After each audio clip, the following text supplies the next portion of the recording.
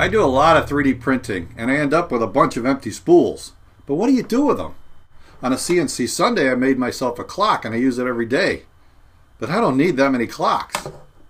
I came up with another idea. Let me show you. I made this. I call it my spool racer. I turned the spools into tires, 3D printed some hubs, used some skateboard bearings, a little bit of hardware, and some wood that I had lying around the shop.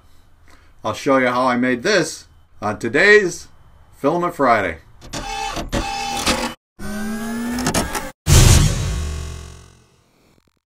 I found the spool adapter on Thingiverse from user Kopitko and it fits a skateboard bearing and it kind of looks like a wheel.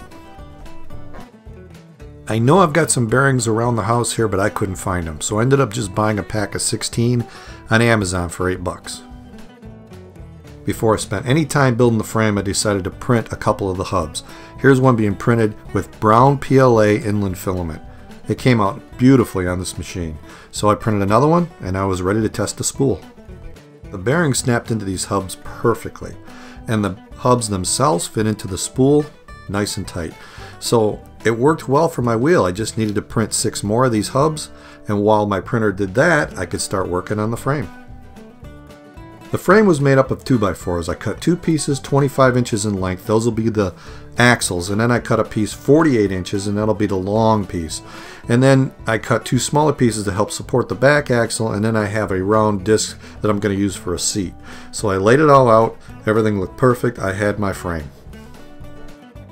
Now I needed to cut the length of the threaded rod to the proper size. By now I had four hubs or two wheels.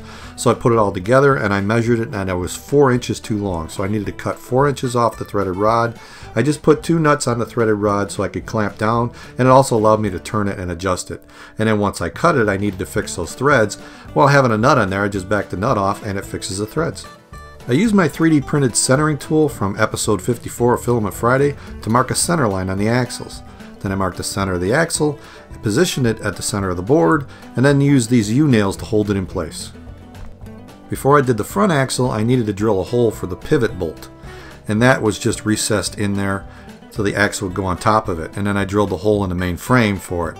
So I just pushed the bolt through into a hole in the bench, made sure I could get a wrench on it, and then I nailed this thing down the same way. I screwed the disc to a straight piece so I could run it against my fence and then cut a piece off the back of the disc. And then I adjusted my blade to 15 degrees and cut that small piece at that 15 degree angle. Then I put some glue on the bottom of it, glued it to the other piece of the disc, and I had my seat.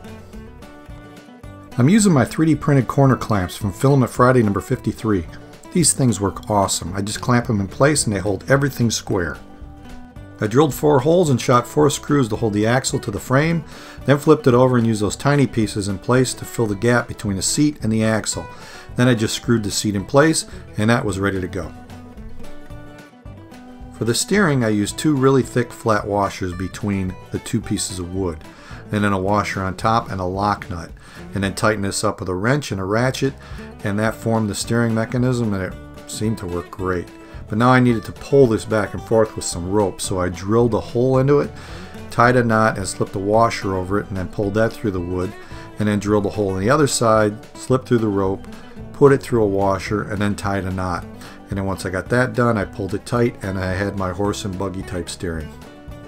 All the 3D prints were done so now I could install the wheels. I locked two nuts against each other, added a washer, a wheel, and then another washer, and then a nylon lock nut to tighten it all up. And I tightened it just enough so the wheels would spin. Then I did this at each corner until I had my spool racer. This looked great, except I realized I had no brakes. I had to figure out brakes. So I found a little piece of wood, I cut an angle at the bottom so it would drag, drilled a hole into it, and then shot a th screw through that just tight enough so this thing would hold itself in place but also pivot. And then I was ready to test it out. Now it was time to test it, so I gave it a push off and here we go.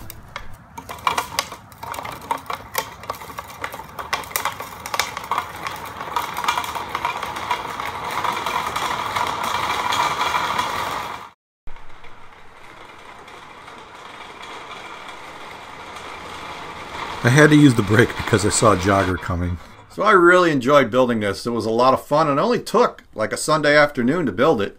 Now I have a lot of the shop tools, but you could easily build this with a handsaw, a drill, and a hammer. It's really not that tough. I enjoyed wearing my helmet again. I used to race stock cars for many years, and this guy has been in storage. It was the helmet I wore on my last win, so it's it's special to me. And to be able to wear it again, even though my son said I looked like a dork wearing a helmet on such a stupid little cart, oh well, it was still fun to me. The only thing I'd change is the axles. I just used some threaded rod that I got at Home Depot. It was 5 16ths and I knew that was marginal in size, but it fit the bearings.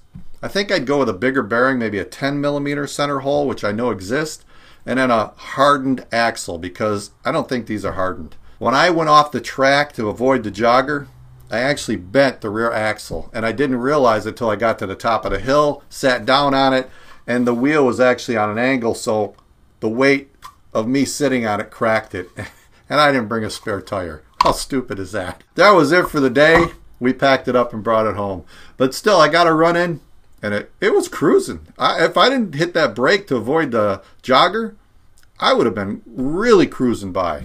So I hope you enjoyed this one because I know I did.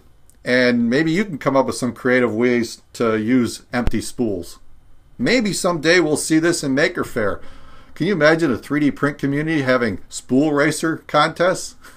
I think that'd be awesome. I hope you like it. If you did, give it a thumbs up. If you like what I'm doing here, please subscribe. And if you want to help support projects like this or whatever I'm doing, a dollar a month to my Patreon account, it goes a long way. So that's it. It's all fixed and ready for another run. And I got a bunch of spares. Oh, the 10K celebration. I'll be announcing that over the next couple days so you can see who won the Tevo Tarantula 3D printer kit, plus a second prize from MatterHackers, and a third prize, the hat and shirt from Ultimate 3D Printing Store. So stay tuned for that. This thing was a lot of fun. I'm going to have to build another one so I can race somebody.